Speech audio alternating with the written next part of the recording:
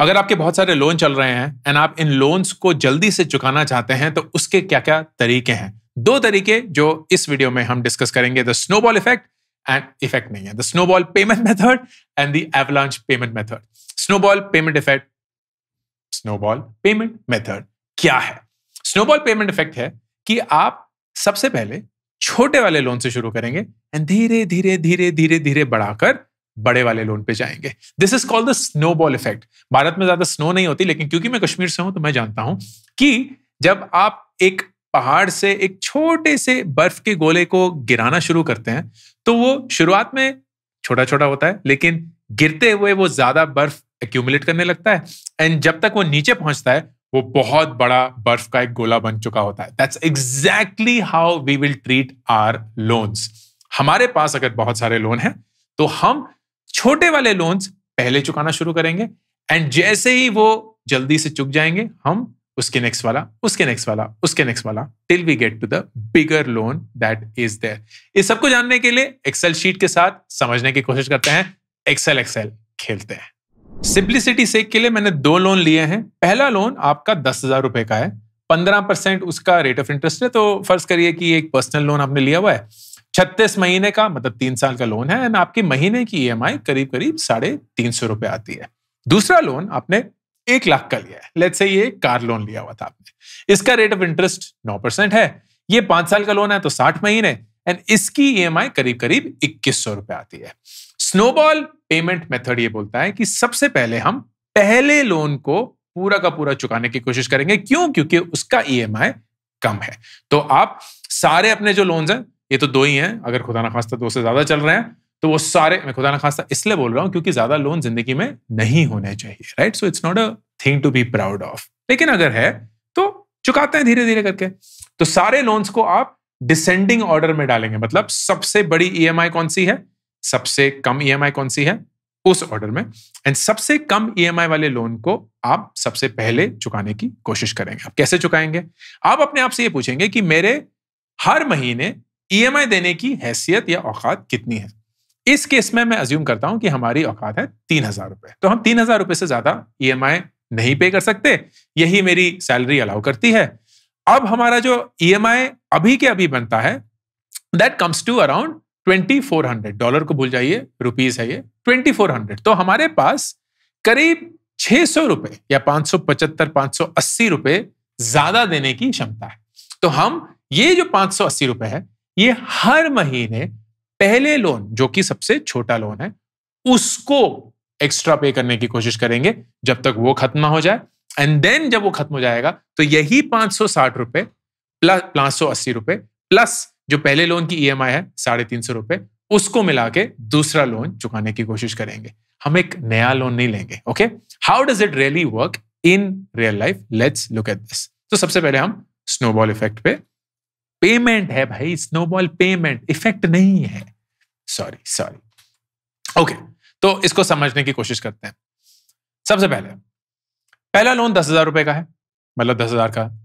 हमने पहला ईएमआई पे किया, साढ़े तीन सौ रुपए करीब करीब। इसमें से इंटरेस्ट जो है वो एक सौ पच्चीस रुपए है प्रिंसिपल दो सौ बाईस रुपए है। जैसे आप जानते होंगे, जब आप लोन पे करते हैं तो शुरुआत में जो ईएमआई होती है, उसमें से काफ़ी हिस्सा जो है वो इंटरेस्ट की तरफ़ जाता है और फिर एक हिस्सा प्रिंसिपल की तरफ़ जाता है। तो हम ये बोलते हैं कि दो सौ बाईस रुपए तो हमारे साढ़े तीन सौ में से प्रिंसिपल की तरफ़ चले गए, लेकिन हमने एक्स्ट्रा जो पाँच सौ अस्सी रुपए हैं, वो भी पे किए। This happens through a pre payment option तो हर महीने आपको ये प्री पेमेंट करनी पड़ेगी towards the principal amount and आप बैंक के पास जाके बोलेंगे, आप मेरा ईएमआई e कम नहीं करेंगे, ना ईएमआई e सेम रहेगा, आप मेरा टेन्योर कम करेंगे। मतलब जितने वक्त का लोन था, इस केस में तीन साल का, उसको आप कम करते रहेंगे ईएमआई e को नहीं छुएँगे। तो अगले महीने आप फिर से वही ईएमआई देते हैं, फिर से वही 578 एक्स्ट्रा देते हैं एंड आप देखते हैं कि यही 36 महीने का लोन सिर्फ़ और सिर्फ़ तेरह महीने के अंदर आप चुका देते हैं।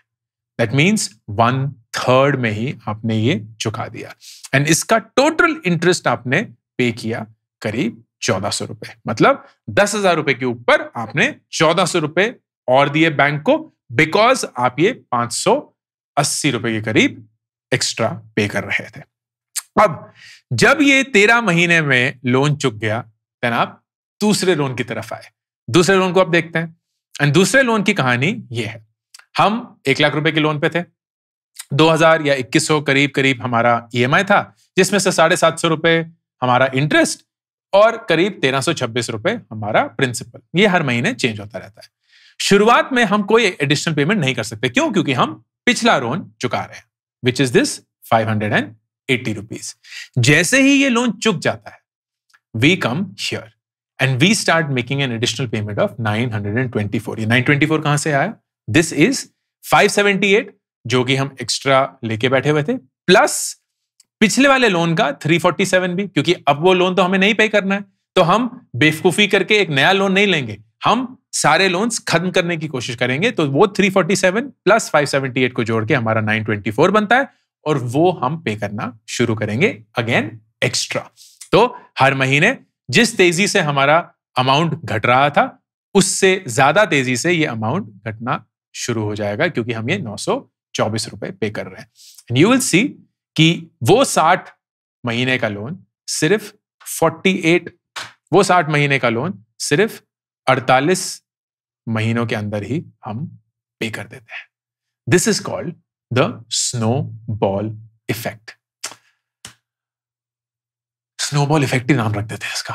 This is called the snow ball payment method snow ball payment method snow ball payment method this is called the snow ball payment method let's go and look at the numbers तो snowball payment method में हमने चौबीस हज़ार एक सौ साठ रुपए करीब करीब इंटरेस्ट पे किया which was over and above the principal जो हमने लिया हुआ था बैंक से। एक लाख रुपए दूसरे लोन का, दस हज़ार रुपए पहले लोन का। तो एक लाख दस हज़ार के ऊपर ऊपर हमने करीब चौबीस हज़ार रुपए पे किए। अगर ये एक्स्ट्रा अमाउंट हम नहीं देते तो हम सत्ताईस हज़ार रुपए पे करते विच मीन्स इस स्नोबॉल इफ़ेक्ट के थ्रू हमने करीब तीन हज़ार रुपए इंटरेस्ट बचाया। नाउ दिस लुक्स लाइक अरे, तीन हज़ार रुपए बचा के क्या कर लिया? लेकिन ये लोन अमाउंट भी तो कम है बहुत। लेकिन इनको चेंज करके देखते हैं। अगर हम फ़र्ज़ करते हैं कि पर्सनल लोन हमने एक लाख का लिया था, दस हज़ार का नहीं, और हमने एक होम लोन लिया हुआ है पचास लाख का तो you will see that the numbers are free big आपका अब मंथली ईएमआई जो है, वो करीब एक लाख सात हज़ार रुपए आता है। एंड आपकी हैसियत एक लाख पच्चीस हज़ार देने की है। तो यू कैन एडिशनली पे करीब eighteen thousand more you will go through the exact same exercise जहाँ आप बोलेंगे कि यार, पहला वाला जो लोन है, उसमें हम अट्ठारह हज़ार रुपए और एक्स्ट्रा पे करेंगे। तो वो जो छत्तीस महीने का लोन है, वो पाँच महीने के अंदर ही चुक जाता है। एंड जैसे ही वो पाँच महीने के अंदर चुक जाता है you will start paying twenty one thousand two hundred and eight rupees extra for the second loan जो आपका होम लोन है। एंड वो अब साठ महीने की बजाय फिफ्टी फोर मंथ्स में ही चुक जाता है। You can keep changing the numbers आपको जैसे भी करना है, ये साठ नहीं है, ये लत से एक सौ बीस है एंड यहाँ एक लाख नहीं है सॉरी एक लाख पच्चीस नहीं है, एक लाख है, या एट्टी थाउज़ेंड है राइट तो आप सिर्फ़ तेरह हज़ार रुपये और दे सकते हैं। तो let's see how this works तो ये आपने सब किया। लेट्स से आप ये पैसे नहीं दे सकते हैं so you will then have average interest of twenty six lakhs twenty three thousand लेकिन क्योंकि आपने ये अमाउंट एक्स्ट्रा पे करना शुरू कर दिया, आप तेरह हज़ार दो सौ रुपए एक्स्ट्रा देते हैं। You will actually save one lakh fifty eight thousand rupees from the snowball payment method notice मैंने स्नोबॉल इफ़ेक्ट नहीं बोला, लेकिन अब बोल दिया। तो आप करीब एक लाख साठ हज़ार रुपए बचाएँगे। ना this is money that you save ये आप एक्स्ट्रा नहीं पे कर रहे हैं। You have paid the principal amount लेकिन अगर आप ये एक्स्ट्रा अमाउंट पे नहीं करते तो आपको एडिशनल ये सारे अमाउंट के ऊपर ऊपर एक लाख साठ हज़ार और देने पड़ते, लेकिन अब आपको वो नहीं देने पड़ेंगे। Let's go into the opposite method called the avalanche payment method avalanche क्या होता है? एवलांच भी भारत में ज़्यादा होता नहीं है थैंकफुली लेकिन एवलांच होता है कि पहाड़ के ऊपर से ही बहुत बड़ा एक स्नो स्टॉम आ गया है। तो it start with really big one and that is the method we use to repay the loan तो एग्जैक्टली द ऑपोजिट हम सबसे छोटे लोन से शुरू ना करते हुए सबसे बड़े लोन से शुरू करेंगे। तो हम सबसे बड़े वाले लोन पहले पे करना शुरू करेंगे, जब वो पे हो जाएँगे, फिर हम छोटे लोन्स पे आएँगे, फिर छोटे लोन्स पे आएँगे so on and so forth and we will see how that work तो एवलांच मेथड पे आते हैं। एक लाख का लोन था हमारा। हमारा करीब इक्कीस सौ रुपए ई e जाती है। साढ़े सात सौ रुपए उसमें इंटरेस्ट तेरह सौ छब्बीस रुपए प्रिंसिपल और एक्स्ट्रा हम फाइव सेवेंटी एट जो दे सकते हैं, जिस जो हमारी देने की हैसियत है, वो हम देंगे। एंड ये हम करते रहेंगे जब तक लोन खत्म ना हो जाए। तो हमारा लोन साठ महीने के बजाय पचास महीने में खत्म होता है। लेकिन यू नो वॉट हमारा पिछला जो लोन था, वो सिर्फ़ छत्तीस महीने का ही था। तो वो छत्तीस महीने पे ही खत्म हो चुका है। So it has gotten over at the thirty six month itself इसको मैं नीचे ले आता हूँ। हाँ।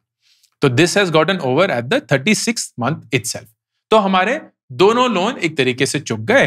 And to give you a sense हमने पच्चीस हज़ार छह सौ चौसठ रुपए इंटरेस्ट पे किया, जिससे हमारे करीब तेरह सौ रुपए बच गए।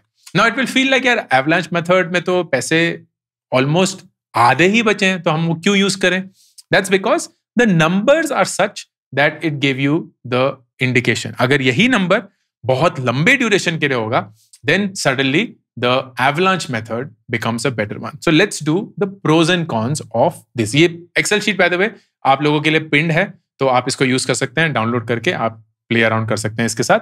But I give you the benefits and the not so या disadvantages of snowball and the avalanche payment methods snowball payment method of loan repayment के एडवांटेजेस क्या है? सबसे पहला क्विक विन की फील होती है राइट छोटा छोटा पैसा छोटे छोटे लोन के लिए जल्दी जल्दी हमें एक इफ़ेक्ट दिखना शुरू हो जाता है। So it gives you a sense of accomplishment a sense of action which is a great sign जब आप अपने पूरे कर्ज से निकलने की कोशिश कर रहे हैं। ये आपके क्रेडिट स्कोर में भी बहुत मदद करेगा, क्योंकि जैसे जैसे आपके लोन चुकते रहेंगे your credit score will start improving which will allow you to get better interest rates for any further loan जो कि बाय द वे आपको नहीं लेने चाहिए, लेकिन अगर लेने पड़े तो आपको एक बेटर रेट ऑफ़ इंटरेस्ट मिलेगा।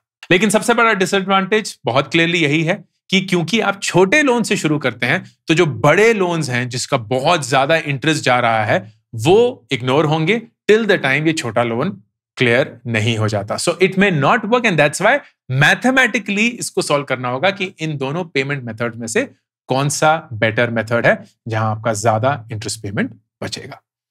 एवलांच पेमेंट मेथड का बहुत अच्छे फ़ायदे हैं। नंबर एक, क्योंकि आप बड़े लोन से शुरू करते हैं तो आपका इंटरेस्ट जो है वो ज़्यादातर काफ़ी मीनिंगफुली सेव हो जाता है because you are able to clear those loans faster दूसरा, क्योंकि ये बड़े लोन्स भी हैं तो अगर ये जल्दी क्लियर हो गए तो आपके बाकी लोन्स क्लियर करने की क्षमता जो है, वो काफ़ी हाई हो जाती है, क्योंकि you are paying a very high E M I for this loan and जब ये खत्म हो जाएगा तो वही बड़ी ई एम आई दूसरे लोन्स के लिए आप यूज़ कर सकते हैं, जहाँ ई एम आई कम है।